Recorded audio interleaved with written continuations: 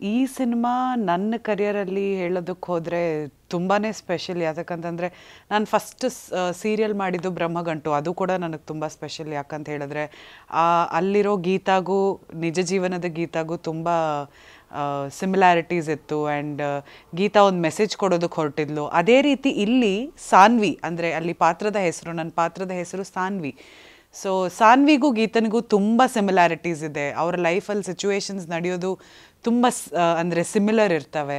And ಇಲ್ಲಿ ಸಾನ್ವಿ ಕೊಡಕ್ಕೆ ಹೊರಟಿರೋ message ಎಲ್ಲ ಹೆಣ್ಮಕ್ಳಿಗೂ ತುಂಬ ಅಂದರೆ ತುಂಬ ಹತ್ತಿರ ಆಗುತ್ತೆ. ಯಾತಕ್ಕಂತಂದರೆ Saanvi whatever Saanvi is going through ಎಲ್ಲ ಹೆಣ್ಮಕ್ಳು ಅವ್ರ, ಅವರ ಜೀವನದ ಒಂದಲ್ಲ ಒಂದು ಹಂತದಲ್ಲಿ ಡೆಫಿನೆಟಾಗಿ ಫೇಸ್ ಮಾಡಿರ್ತಾರೆ. ರವಿಕೆ ಎಲ್ಲರೂ ಹೊರ ಹೊಲಿಯೋದಕ್ಕೆ ಕೊಟ್ಟೆ ಕೊಡ್ತಾರೆ. ಇವಾಗ ನಮ್ಮ ಭಾರತೀಯ ನಾರಿಯರು ಅಂದ ತಕ್ಷಣ ಅವ್ರಿಗೆ ಭೂಷಣನೇ ಸೀರೆ.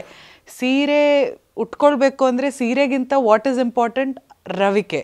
ಸೊ ನಾವು ಎಷ್ಟು ಐನೂರು ರೂಪಾಯಿ ಕೊಟ್ಟು ಸೀರೆ ತೊಗೊಂಡ್ರೆ ಒಂದು ರವಿಕೆ ಹೊಲಿಸೋದಕ್ಕೆ ಎರಡು ಸಾವಿರದಿಂದ ಹಿಡಿದು ಇಪ್ಪತ್ತು ಸಾವಿರ ತನಕನೂ ಖರ್ಚು ಮಾಡಿರೋದಿದೆ.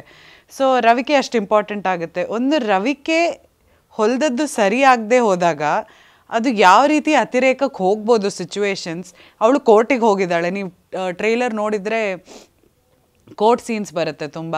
ಸೊ ಒಂದು ರವಿಕೆ ಹೊಲ್ದದ್ದು ಸರಿಯಾಗಲಿಲ್ಲ ಅಂತ ಅವಳು ಕೋರ್ಟ್ ಕೋರ್ಟ್ ತನಕ ಹೋಗಿದ್ದಾಳೆ. ಯಾತಕ್ಕೆ ಅವಳು ಕೋರ್ಟಿಗೆ ಹೋದ್ಲು? ಅಂತ ಅತಿರೇಕ ಅಂದರೆ ಯಾತಕ್ಕಾಯಿತು? ಆ ಥರ ಸಿಚುವೇಶನ್ಸ್ ಏನಕ್ಕೆ ಬಂತು ಅನ್ನೋದಕ್ಕೆ ಸಿನಿಮಾ ನೋಡಬೇಕು ಒಂದು. ಬಟ್ ಇದರಲ್ಲಿ ಈ ಸಿನಿಮಾದಲ್ಲಿ there is a social message ಒಂದು ಹೆಣ್ಮಗಳು ಯಾವ ರೀತಿ ಸೋಷಿಯಲ್ ಪ್ರೆಷರ್ಗೆ ಒಳಗಾಗ್ತಾಳೆ? ಯಾವ ರೀತಿ ಅವಳಿಗೆ ಬೇರೆ ಬೇರೆ ಥರದಲ್ಲಿ ಮಾತಾಡ್ತಾರೆ? ಒಂದೊಂದು ಪ್ಲಸ್ ಸೈಜ್ ಹುಡುಗಿ ಆದ ಕೂಡಲೇ. ಬೇರೆ ಬೇರೆ ರೀತಿಯಲ್ಲಿ ಮಾತುಗಳು ಬರ್ತವೆ. ಒಂದು ಸಮಾಜದಿಂದ ಆಗಲಿ ಅಥವಾ ಅವಳದೇ ಮನೆಯಲ್ಲಾಗಲಿ ಸೊ ಬೇರೆ ಬೇರೆ ರೀತಿಯಲ್ಲಿ ಸೋಷಿಯಲ್ ಪ್ರೆಷರ್ ಇರುತ್ತೆ ಅವಳಿಗೆ. ಸೊ ಇದೆಲ್ಲವನ್ನು ಒಂದು ಪ್ಯಾಕೇಜ್ ಆಗಿ ಇಟ್ಕೊಂಡು ಅಂದರೆ ಇವಾಗ ನಾನು ರವಿಕೆ ಬಗ್ಗೆ ಮಾತಾಡಿದೆ ಸೋಷಿಯಲ್ ಪ್ರೆಷರ್ ಬಗ್ಗೆ ಮಾತಾಡಿದೆ ಬಟ್ ಸಿನಿಮಾ ಯಾವುದ್ರ ಬಗ್ಗೆ ಜಾನರ್ ಅಂತ ಕೇಳಿದ್ರೆ ಕಾಮಿಡಿ ಅಂತ ಹೇಳ್ತಾರೆ.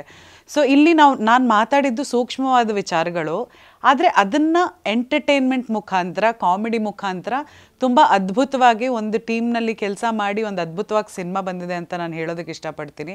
ಯಾಕಂದರೆ ಈ ಥರ ಸೂಕ್ಷ್ಮವಾದ ವಿಚಾರಗಳನ್ನು ಕಾಮಿಡಿ ಮೂಲಕ ಹೇಳೋದಿದೆಯಲ್ಲ ಕಷ್ಟ.